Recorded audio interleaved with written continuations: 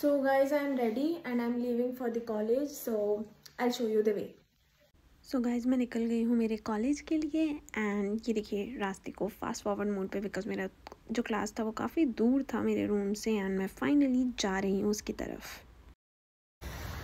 So I am done with my class I was not able to capture the class moment because I was already late she is Pasilia Pasilia is from Africa continent से hi Pasilia so now we are going to Lidl shop in order to purchase the grocery because we don't have any grocery right now. So let's go. So so guys मैं shopping करके वापस आ गई थी पर मैं मैं ना बस के अंदर एक्चुअली गिर गई थी बिकॉज़ वहाँ पे एकदम से डॉग आ गया था और मैं डर गई थी। मुझे बहुत बड़ा फोबिया है एंड देर फोर मैं लाइब्रेरी साइड आ गई थी एंड वहाँ पे जाके मैं थोड़ी बहुत पढ़ाई कर रही थी। फिर शाम को मैं टेबल टेनिस खेलने चली गई एज़ यूजल एंड ये वीडियो पता नहीं कितनी गंदी रिकॉर्ड कराई है। आई मीन मेरे फ्रेंड ने रिकॉर्ड की थी, पर उसने अच्छी रिकॉर्ड नहीं की। मैं जब गंदा खेल रही थी, तभी रिकॉर्ड करी।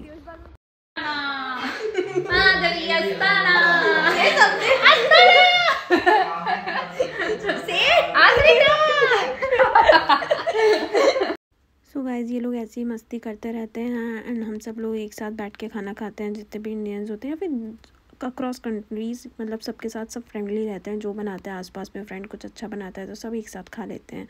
सो so, अभी वही खाना खाना जाना चल रहा है।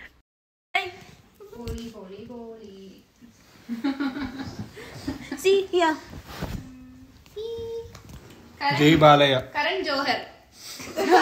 Vidanshi. ये कौन सा जोक है ये कुछ क्लिपिंग्स मैंने पार्टी के टाइम की डाल दी है जब यहाँ पार्टीज़ वगैरह होती हैं। एंड देन अगले दिन स्नो की जब थोड़ा सा स्नोफॉल हो रहा था तो कितना मज़ा आ रहा था। लाइक like, सब अपना कैप लगा के चल रहे थे एंड कोशिश कर रहे थे कि स्नोफॉल को कैप्चर कर पाए।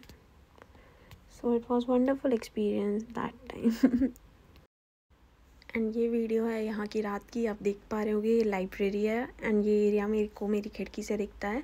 सो so, आप देख पा रहे होगे कि यहाँ पर रात कैसे दिखते हैं। ऑल ये क्लिपिंग्स बहुत रैंडम थी पर मैं आपको शो करना चाहती थी मेरी छः महीने की journey so stay tune and please subscribe